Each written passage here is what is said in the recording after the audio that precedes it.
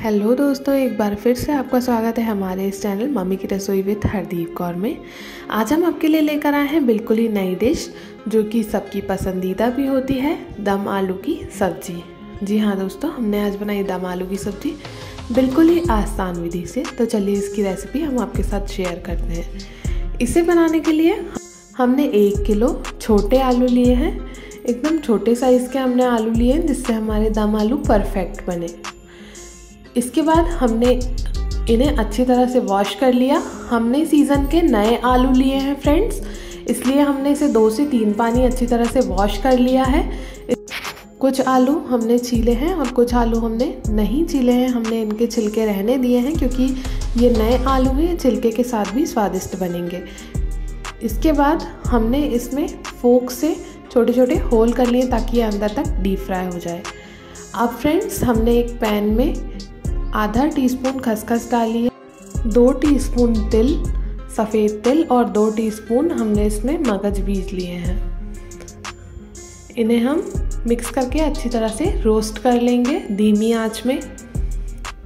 हमें इन्हें हल्का ब्राउन होने तक रोस्ट करना है। हमारे तीनों ही इंग्रेडिएंट्स अच्छी तरह से भुन गए हैं। अब हम इन्हें एक प्लेट में खाली कर लेंगे और इन्हें ठंडा होने देंगे।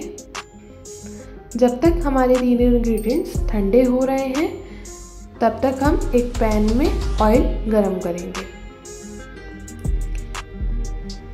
हम थोड़ा ज़्यादा क्वांटिटी में ऑयल लेंगे, ताकि जो हमने आलू वॉश किए हैं, उन्हें हम अच्छी तरह से फ्राई कर सकें। देखिए दोस्तों, ये हमारे आलू, जिन्हें हमने दो से तीन पानी से वॉश किया था, और फोक से इसमें होल किए थे ताकि ये आलू अंदर तक अच्छी तरह से फ्राई हो सके।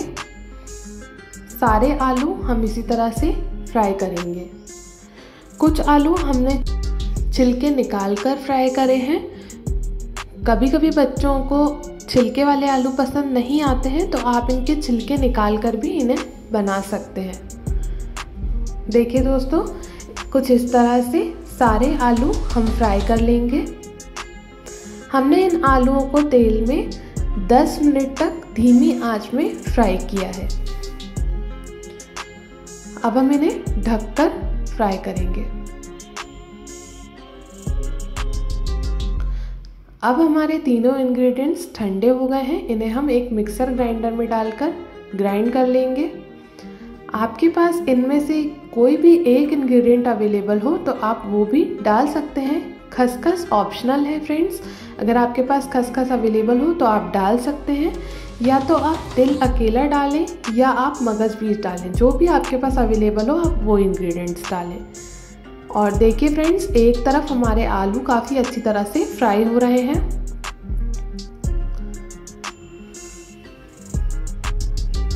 अब हम इसकी ग्रेवी रेडी करेंगे।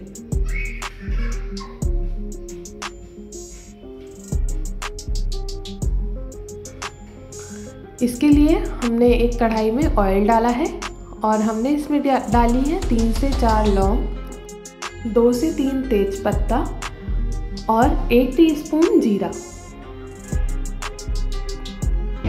और ऑयल भी काफ़ी अच्छी तरह से गर्म हो गया है, जीरा कड़कने लगा है। अब हम इसमें डालेंगे प्याज। प्याज हमने मिक्सर ग्राइंडर में ग्राइंड कर ली थी। हमने तीन से चार मीडियम साइज़ के प्याज लिए थे। जिन्हें हमने मिक्सर में पीस लिया था। अब हम इसमें डाल रहे हैं जिंजर गार्लिक का पेस्ट लहसुन अदरक का पेस्ट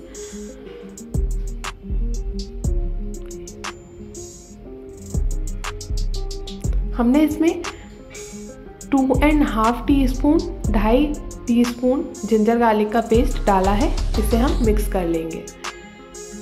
एक साइड फ्रेंड्स हमारे आलू काफ़ी अच्छी तरह से फ्राई हो रहे हैं। देखिए दोस्तों, जैसा कि आप देख सकते हैं, एक हमारा आलू काफ़ी अच्छी तरह से फ्राई हो गया है बट अभी इसे हमें पाँच मिनट और फ्राई करना है।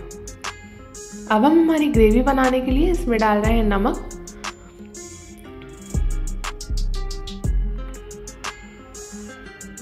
नमक आप स्वाद अनुसार डालें।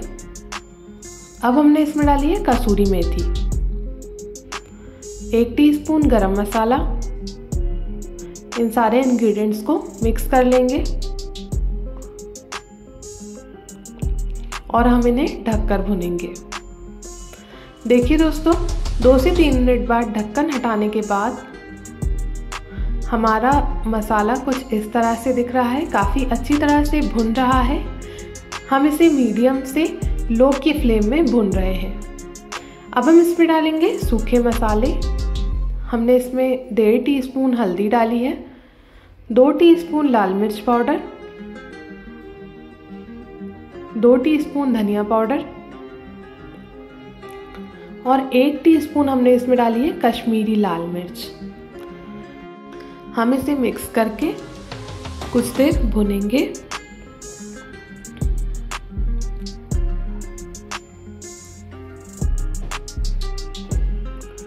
देखिए दोस्तों, तिल्ली, खसखस और मगज बीज का जो पाउडर हमने रेडी किया था, अब हम वो डालेंगे इसमें।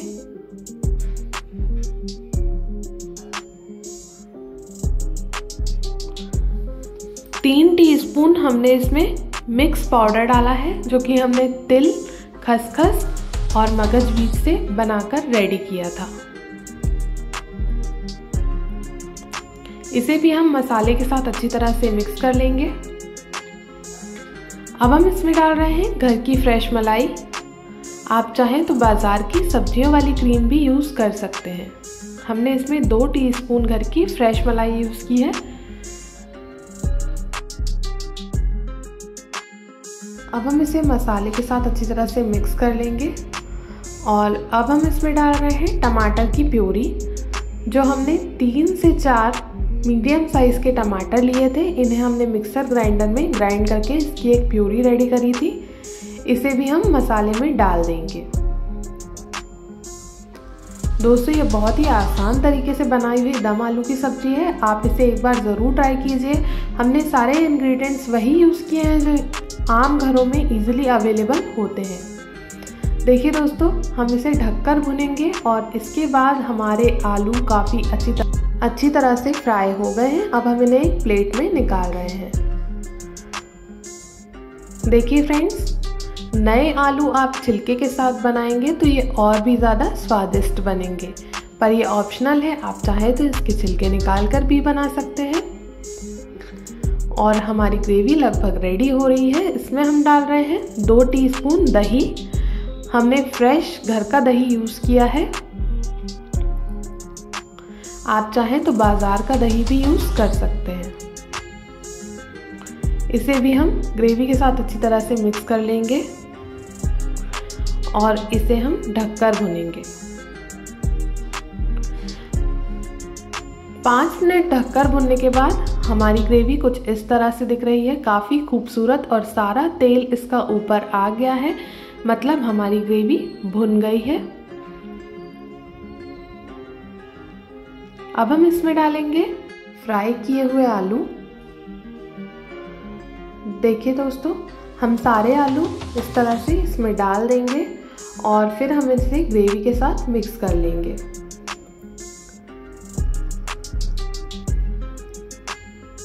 हम सारी ग्रेवी के साथ सारे आलूओं को मिक्स कर लेंगे और पाँच मिनट इसे भुनेंगे। पाँच मिनट भुनने के बाद हमारे आलू कुछ इस तरह से दिख रहे हैं। सारी ग्रेवी के साथ काफ़ी अच्छी तरह से मिक्स हो गए हैं। सारा मसाला आलुओं के साथ मिक्स हो गया है अंदर तक। हमारी ग्रेवी की थिकनेस के अनुसार हम इसमें पानी डाल रहे हैं। हमने उबला गर्म पानी लिया है।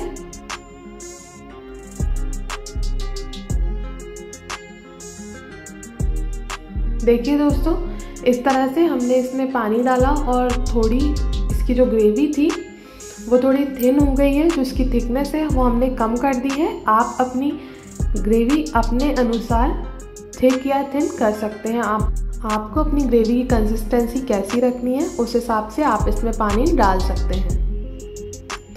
देखिए दोस्तों, दो से तीन मिनट ग्रेवी में डालने के बाद हमारे आलू एकदम रेडी हो गए। हमारी दम आलू की सब्ज़ी बनकर रेडी है। अब हम इसे निकाल लेंगे। देखिए दोस्तों, हम एक बड़े से बाउल में इसे सर्व कर रहे हैं। हम निकाल रहे हैं सारी दम आलू की सब्ज़ी। तो देखा आपने 10 मिनट में हमारी सब्ज़ी बनकर हमने रेडी कर ली है। और वो भी बिल्कुल कम इंग्रेडिएंट्स में, जो सारे किचन में अवेलेबल होते हैं इजीली मिल जाते हैं। अब हम इसे गार्निश करने के लिए इसमें ऊपर से हरा धनिया डाल देंगे। देखिए दोस्तों, बहुत ही खूबसूरत दिख रही है हमारी दम आलू की सब्ज़ी। और हमने इसे एक थाली में सजाया है। दम आलू की सब्ज़ी, रायता, सलाद, पापड़, रोटी और चावल के साथ आप इसे सर्व कर सकते हैं। ये आसान रेसिपी के लिए हमारे चैनल को सब्सक्राइब करें। Thank you for watching.